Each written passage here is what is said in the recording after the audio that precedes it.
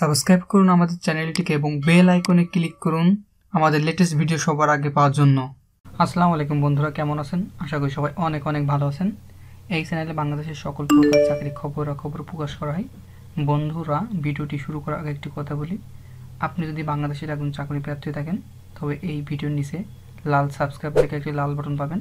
ওইখানে চেপে সাবস্ক্রাইব করবেন এবং পাশে বেল আইকন আছে, ওখানে চেপে ক্লিক করে রাখবেন। তাহলে সবার আগে আমাদের ভিডিওগুলো পেয়ে যাবেন।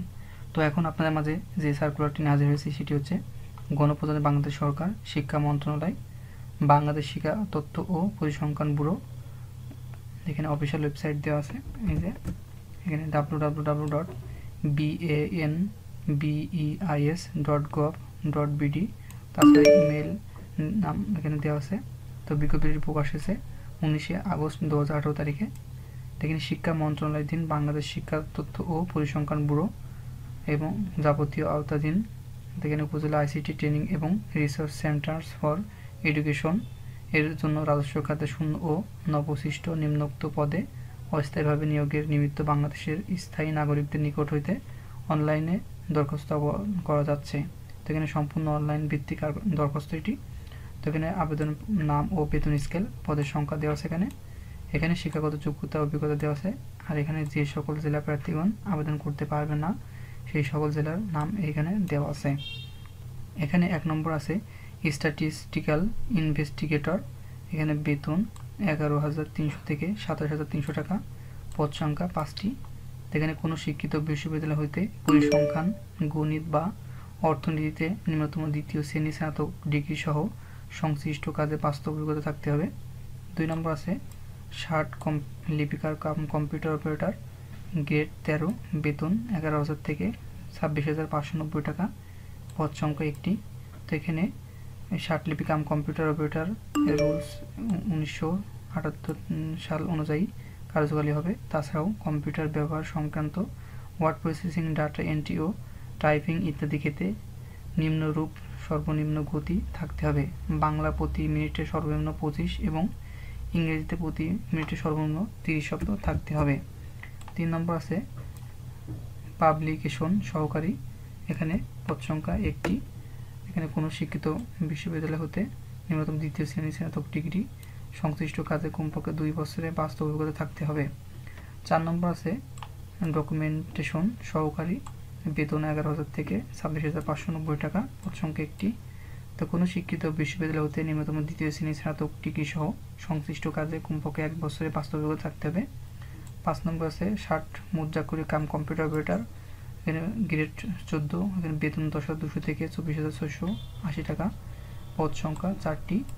তো এখানে কম্পিউটার ব্যবহার সংক্রান্ত ওয়ার্ড প্রসেসিং, ডাটা এন্ট্রি ও টাইপিং ইত্যাদি ক্ষেত্রে নিম্নরূপ, সর্বনিম্ন গতি থাকতে হবে। বাংলা প্রতি মিনিটে পঁচিশ শব্দ এবং ইংরেজিতে তিরিশ শব্দ থাকতে হবে। ছয় নম্বর আছে প্রুফ রিডার এখানে বেতন দশ দুশো থেকে চব্বিশ হাজার ছয়শো আশি টাকা। পদ সংখ্যা একটি।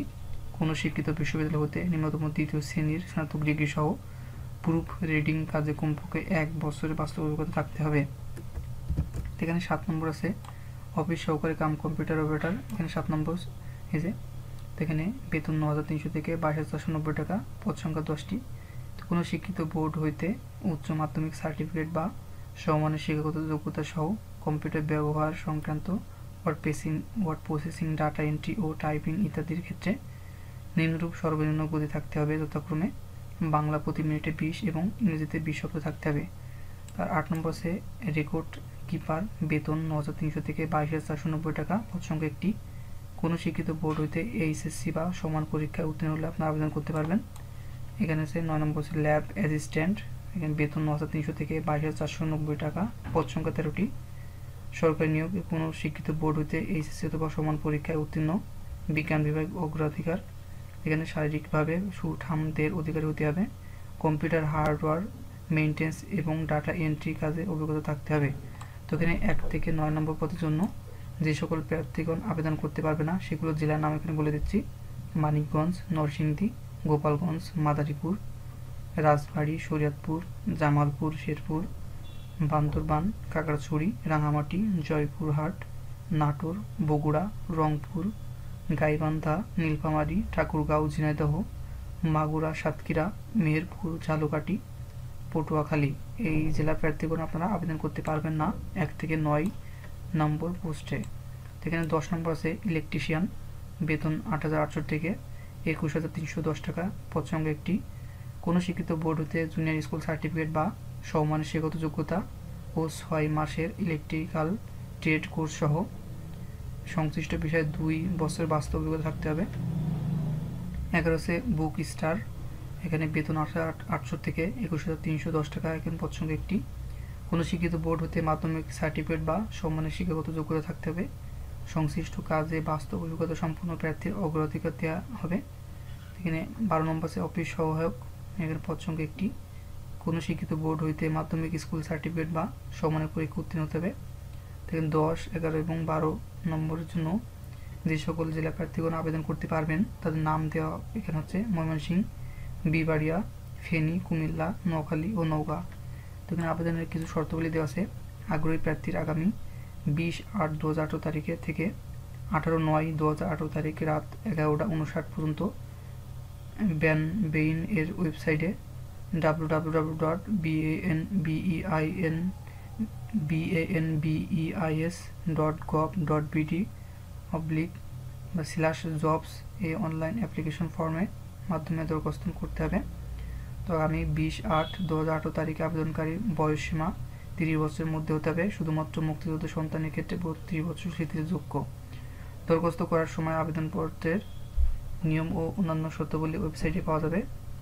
তো ট্র্যাকিং নাম্বার দিয়ে প্রকৃত ফর্মটি যথাযথভাবে সংরক্ষণ করতে হবে। তো এখানে একশো টাকা লাগবে। এখানে এই কোড নম্বর দেওয়া আছে কোডে একশো টাকা।